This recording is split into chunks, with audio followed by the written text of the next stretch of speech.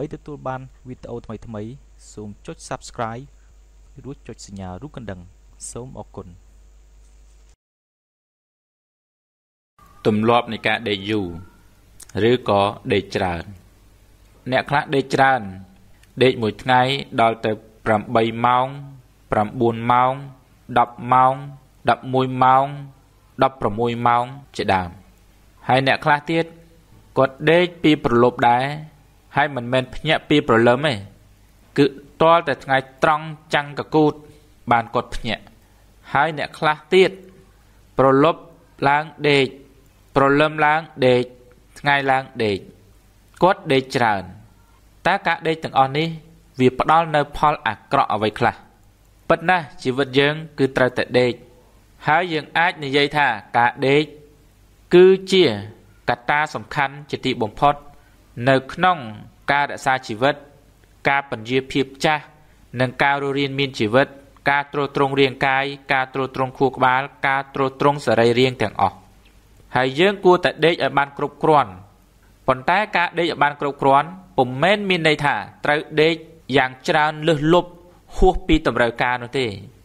ការដេកច្រើនលឹះលប់ហួសពីតម្រូវការវាคล้ายទៅជាផលអវិជ្ជមាន វាคล้ายទៅជាបញ្ហា បញ្ហាមានដូចជា ការដេកច្រើននាំឲ្យស្ពឹកខួរក្បាល ប្រសិនបើយើងដេកគ្រប់គ្រាន់ធ្វើឲ្យខួរក្បាលរបស់យើងស្រស់ថ្លាធ្វើឲ្យខួរក្បាលរបស់យើងដំណើរការល្អធ្វើឲ្យខួរក្បាលមានសុខភាពល្អគិតបានរហ័សរហួន ហើយបង្កើតនូវការចងចាំប៉ុន្តែនៅពេលដែលយើងដេកច្រើនហួសហេតុពេកវាធ្វើឲ្យខួរក្បាល បង្កើតនៅទម្លាប់មួយ គឺទម្លាប់ស្ពឹកស្រពន់អ្វីក៏ដោយដែលយើងធ្វើ ជារឿយរឿយវាបង្កើតនៅទម្លាប់អញ្ចឹងបើខួរក្បាលរបស់យើងដេកយ៉ាងយូរយ៉ាងច្រើន គឺធ្វើឲ្យខួរក្បាលយើងមានទម្លាប់ដេកធ្វើឲ្យខួរក្បាលយើងមានទម្លាប់ស្ពឹកធ្វើឲ្យខួរក្បាលមានទម្លាប់ស្រពន់បើយ៉ាងដូច្នេះវាជាការខាតបង់មួយដ៏ធំបំផុតពីព្រោះនៅក្នុងមួយថ្ងៃមួយថ្ងៃយើងត្រូវប្រើខួរក្បាលរបស់យើងឲ្យមានសក្តានុពលឲ្យមានប្រយោជន៍ឲ្យកើតនៅធម្មពល ដូច្នេះយើងត្រូវការថែទាំខួរក្បាលឲ្យមានសុខភាពល្អហើយប្រើប្រាស់វាប្រកបដោយធម្មពលសម្ដៅសម្រេចសម្ដៅបង្កើតឲ្យបានសេចក្តីចម្រុងចម្រើនក្នុងជីវិត យើងក៏អាចនិយាយថាជីវិតរបស់យើងបានប៉ុណ្ណេះមានប៉ុណ្ណេះវាសុទ្ធតែចេញមកពី សមិទ្ធផលនៃខួរក្បាលរបស់យើងទាំងអស់ខួរក្បាលដំណើរការឲ្យយើងគិត ការគិតជំរុញចិត្តរបស់យើងឲ្យធ្វើ ការធ្វើបង្កើតនៅលទ្ធផល បើយើងចង់ឲ្យខួរក្បាលរហ័សរហួន មានដំណើរការល្អយើងគួរតែដេកត្រឹមតែមកគ្រប់គ្រាន់បានហើយកុំកើតមកដើម្បីដេកកុំរស់ដើម្បីដេកដេកត្រឹមតែរស់បានហើយយកពេលវេលាទាំងឡាយធ្វើកិច្ចការងារដែលមានប្រយោជន៍ការងារដែលមានប្រយោជន៍នោះជាការងារដែលមានប្រយោជន៍សម្រាប់សុខភាពរាងកាយផងសម្រាប់សុខភាពខួរក្បាលផង និងជាលទ្ធផល ដែលមានប្រយោជន៍សម្រាប់គ្រួសារផង និងប្រទេសជាតិផង យើងគួរឲ្យមានការសោកស្ដាយជាទីបំផុតប្រសិនបើយើងកើតក្នុងមួយជាតិនេះមិនបានប្រើខួរក្បាលរបស់យើងឲ្យអស់នៅលទ្ធភាពឬមិនបានប្រើនៅសក្តានុពលនៃខួរក្បាលរបស់យើង ហើយពេលដែលយើងស្លាប់ទៅវិញវាคล้ายទៅជារបស់អត់មានន័យវាคล้ายទៅជាត្រឡោកដូងคล้ายទៅជាដុំដី ហើយវានឹងរលាយសាបសូន្យពីផែនដីនឹងទៅ ដែលការពិតសមត្ថភាពនៃខួរក្បាលរបស់យើងអាចបង្កើតនូវសមិទ្ធផល ស្នាដៃហើយបន្សល់ទុកនៅ បើទោះជាយើងស្លាប់ទៅក៏វាមិនរលាយសាបសូន្យទស្សនៈគំនិត ដែលបានបង្កើតឡើង តាមរូបភាព ជាតួអក្សរតាមរូបភាព ជារឿងព្រេងនិទានតាមរូបភាព ជាស្នាដៃជាវត្ថុណាមួយ គឺវានឹងបន្សល់ទុក ហើយនឹងមានមនុស្សនិយាយតតគ្នា អំពីខួរក្បាលរបស់យើង ចំណុចទី2 ការដេកច្រើននាំឲ្យកើនតណ្ហា ចំណុចទី2ការដេកច្រើននាំឲ្យកើនកាមតណ្ហា នៅពេលដែលយើងដេកអ្វីអ្វីទាំងអស់ត្រូវបានសំងំសរីរាង្គកាយត្រូវបានសំងំ កោសិកាត្រូវបានសំងំនិងជួសជុលប៉ុន្តែចំពោះកាមតណ្ហាវិញក៏ត្រូវបានសំងំហើយសន្សំឡើង នៅពេលដែលយើងដេកកាន់តែច្រើន កាមតណ្ហានោះនឹងកើតឡើងកាន់តែច្រើន នៅពេលដែលយើងដេកកាន់តែច្រើន កាមតណ្ហានោះនឹងដុះឡើងកាន់តែច្រើន វានឹងធ្វើឲ្យមនុស្សយើង មានកាមតណ្ហា មានអារម្មណ៍ត្រេកត្រអាល មានអារម្មណ៍ស្រើបស្រាលហើយប្រសិនបើយើងមិនចេះគ្រប់គ្រងវាបានល្អទេ ឬប្រសិនបើយើងមិនចេះកាត់បន្ថយវាទេ វានឹងដោះឡើងយ៉ាងពេញល្អាងនៃតណ្ហា ហើយនៅពេលដែលវាដោះឡើងពេញល្អាងនៃតណ្ហា វានឹងបង្កើតនៅបញ្ហាផ្សេងផ្សេង ដែលបញ្ហាទាំងនោះ វាអាចជាបញ្ហា ដែលនាំឲ្យអន្តរាយដល់បញ្ញា និងនាំឲ្យអន្តរាយដល់កិច្ចការព្រមទាំងអន្តរាយដល់ជីវិតផងណាដូច្នេះយើងមិនត្រូវដេកច្រើនហួសហេតុរហូតដល់កើនតណ្ហាទេ យើងមិនត្រូវដេកច្រើនហួសហេតុរហូតដល់កើនកាមតណ្ហាទេ យើងគួរតែដេកឲ្យបានសមល្មមដើម្បីជាប្រយោជន៍នៃរាងកាយដើម្បី ឲ្យធម្មពលកើតឡើង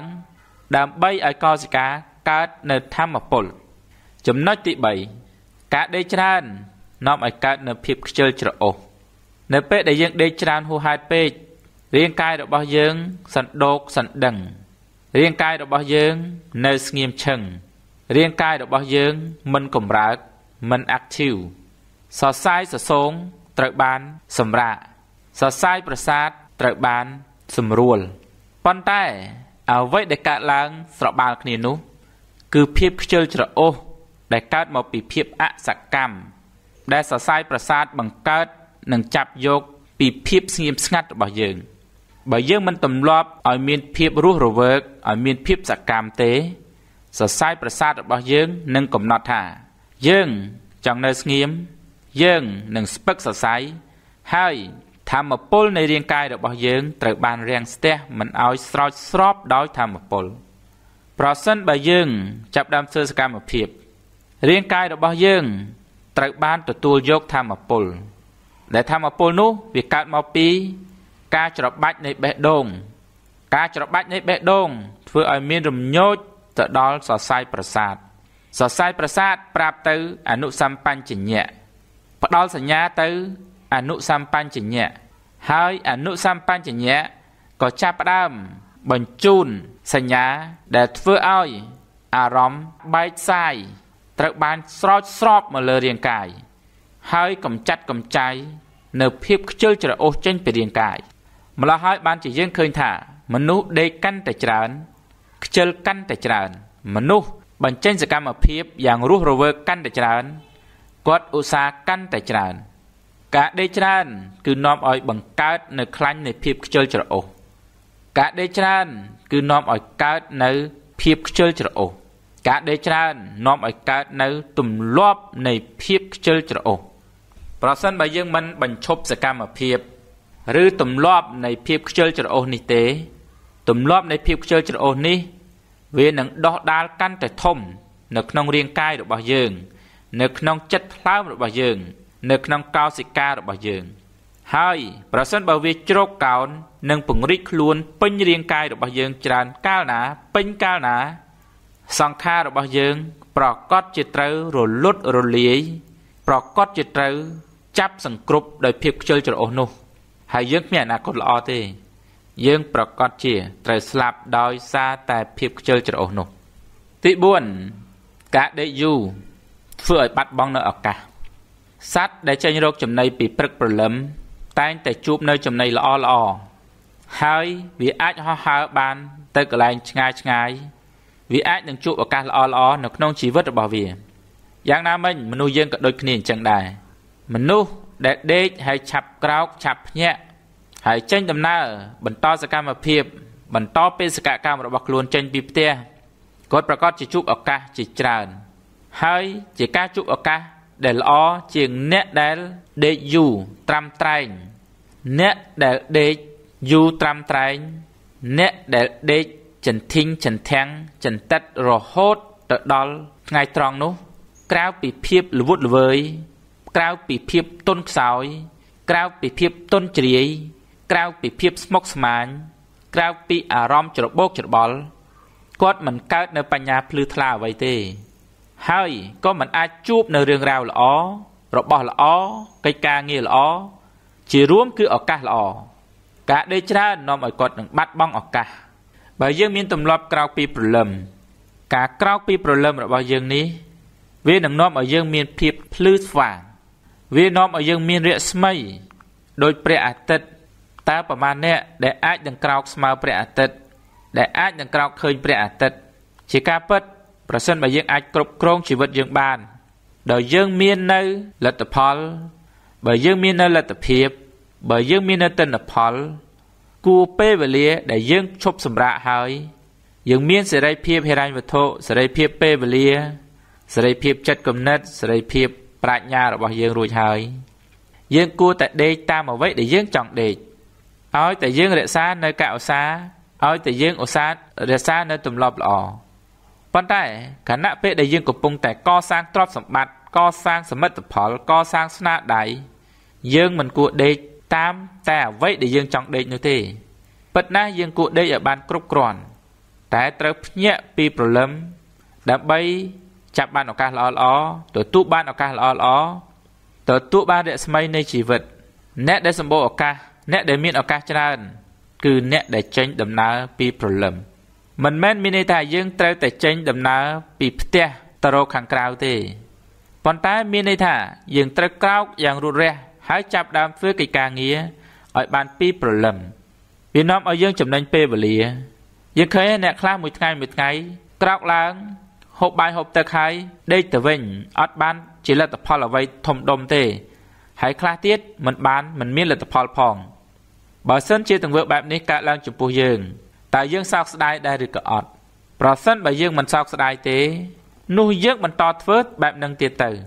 តែបើយើងធ្វើបែបហ្នឹងហើយវាកើតនឹងការសោកស្ដាយឲ្យជីវិតយើង យើងគួរតែផ្លាស់ប្ដូរវា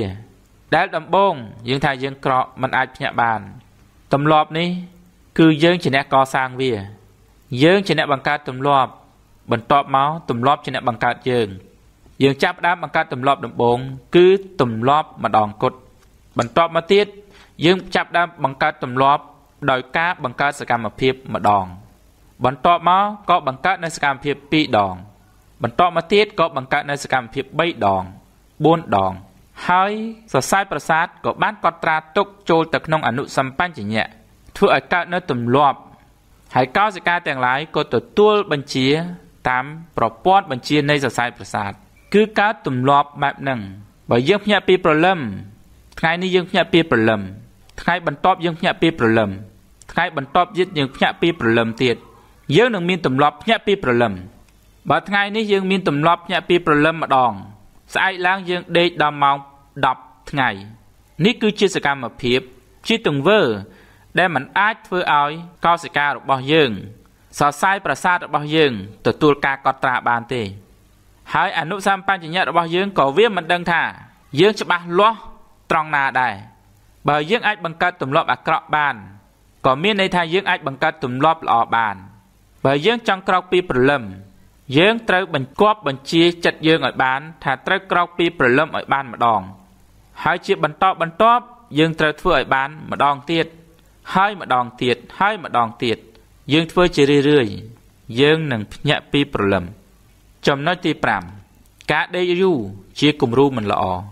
ប្រសិនបើយើងចង់ឲ្យកូនចៅរបស់យើងឆាប់ក្រោកឆាប់ភ្ញាក់យើងនិយាយឲ្យរួចមាត់ទៀតពេលខ្លះវាអត់មានន័យពេលខ្លះសកម្មភាពរបស់យើងវាលន់លឺជាងពាក្យសម្ដីបើយើងជាឪពុកម្ដាយក្រោកពីព្រលឹមវាស័ក្តិសមណាស់ដែលយើងអាចនិយាយទៅកាន់កូនយើងនៅពាក្យសម្ដីថាឲ្យវាក្រោកពីព្រលឹមហើយនៅពេលដែលវាស្ដាប់សម្ដីរបស់យើងសម្ដីនោះជាសម្ដីដែលមានអំណាចជាសម្ដីដែលមានធម៌ពល ពីព្រោះយើងមិនគ្រាន់តែនិយាយទេ យើងអាចធ្វើបាន យើងជាគំរូបើយើងមិនអាចក្រោកពីព្រលឹមបានសម្ដីរបស់យើងមិនមានទម្ងន់មិនមានធម៌ពលមិនមានកម្លាំងមិនមានអំណាចក្នុងការនិយាយឲ្យអ្នកដទៃក្រោកពីព្រលឹមនោះទេ ហើយបើគ្រប់គ្នាមើលគំរូគ្រួសារគ្រួសារនោះនឹងក្លាយទៅជាគ្រួសារដែលខ្វះវិន័យហើយបើសិនជាគ្រួសារនោះខ្វះវិន័យហើយគ្រួសារនោះនឹងបង្កនៅបង្កើតនៅភាពរញ៉េរញ៉ៃ គ្រួសារនោះមិនអាចទទួលបានជោគជ័យនៅក្នុងជីវិតទេមិនថាជាជីវិតបុគ្គលឬជីវិតគ្រួសារដូច្នេះយើងគប្បីដេកឲ្យបានគ្រប់គ្រាន់តែត្រូវឆាប់ភ្ញាក់ឆាប់ក្រោកការដេកគ្រប់គ្រាន់មិនមែនមានន័យថាត្រូវដេកយូរទេប៉ុន្តែមានន័យថាត្រូវឲ្យយើងចេះដេកតើការចេះដេកត្រូវដេកយ៉ាងដូចម្ដេចយើងធ្វើកិច្ចការងារឲ្យបានច្រើនអ្វីដែលយើងបានកំណត់ថាធ្វើយើងធ្វើឲ្យបានច្រើន ឲ្យបានរួចពីប្រលប់បើយើងចង់សិក្សារៀនសូត្រចង់អានសិភៅយើងស្ទុះស្ទាឆាប់អានម៉ោង7ឬម៉ោង8ចាប់ដើមអាន ចាប់ដើមអភិវឌ្ឍខ្លួន ចាប់ដើមฝึกហាត់ហើយយ៉ាងយូរដល់ម៉ោង12វាជាពេលវេលាដែលសមយើងចូលដេកហើយបើយើងដេកម៉ោង12ម៉ោង5កន្លះឬម៉ោង6វាសមយើងអាចភ្ញាក់បាន ដែលការភ្ញាក់គឺជាការភ្ញាក់យ៉ាងមានអារម្មណ៍ល្អ ពីព្រោះពេលវេលាប៉ុណ្ណេះអាចដេកបានគ្រប់គ្រាន់ហើយគ្រាន់តែមានកិច្ចការងារមួយចំនួនមុនពេលដេកយើងត្រូវធ្វើដូចជា បិទទ្វារបង្អួចឲ្យបានត្រឹមត្រូវ បិទភ្លើងឲ្យបានងងឹតកុំឲ្យមានការរំខានរៀបចំអីវ៉ៃអវ៉ាន់ទុកដាក់ឲ្យមានរបៀបរៀបរយឲ្យមានសណ្ដាប់ធ្នាប់ ហើយកុំហូបអាហារណា ដែលនាំឲ្យយើងនោមយប់ហើយយើងចាប់ដើមដេកទៅដេកឲ្យស្កប់ស្កល់ ប្រាប់ខ្លួនយើងថាដល់ពេលវេលាដែលត្រូវដេកហើយរាងកាយអើយដេកចុះសម្រាកចុះសម្រាកឲ្យបានស្កប់ស្កល់ឆាប់ភ្ញាក់យើងនិយាយមកកាន់ខ្លួនយើង យើងដាស់តឿនខ្លួនយើង យើងរំលឹកខ្លួនយើងទង្វើបែបនេះដែលយើងធ្វើជារឿយរឿយនឹងត្រូវបានកត់ត្រាចូលនៅក្នុងសម្បញ្ញៈនិងអនុសម្បញ្ញៈហើយសរសៃប្រសាទរបស់យើងនឹងដាស់ឲ្យយើងភ្ញាក់ដោយស្វ័យប្រវត្តិប្រសិនបើយើងបង្កើតទម្លាប់នេះ បានរស់រានមានជីវិតហើយនោះរឿងដេកនេះបើយើងកាន់តែដេកយើងកាន់តែចង់ដេកបើយើងកាន់តែដេកយើងដេកកាន់តែច្រើន បើយើងដេកកាន់តែច្រើន យើងកាន់តែចង់ដេកបើយើងបណ្ដោយតាមការចង់របស់យើង យើងនឹងនៅតែក្នុងក្រែហ្នឹងយើងមិនអាចនឹងចេញទៅធ្វើកិច្ចការងារបានទេ ពេលវេលាមាន24ម៉ោងក្នុងមួយថ្ងៃចែកចេញជា3គឺ8ម៉ោង8ម៉ោង8ម៉ោងយើងអាចដេក ក្រោម8ម៉ោងក្នុងមួយថ្ងៃនៅសល់16ម៉ោងជាងទៀតគឺជាពេលវេលាដែលយើងត្រូវធ្វើឲ្យមានប្រយោជន៍ជាពេលវេលាដែលយើងត្រូវសកម្មជាពេលវេលាដែលយើងត្រូវកម្រើកពីព្រោះថាយើងគង់តែបានដេកទេ បើលោកអ្នកយល់ថាមានប្រយោជន៍ជួយ share បើមានសំណួរចូល comment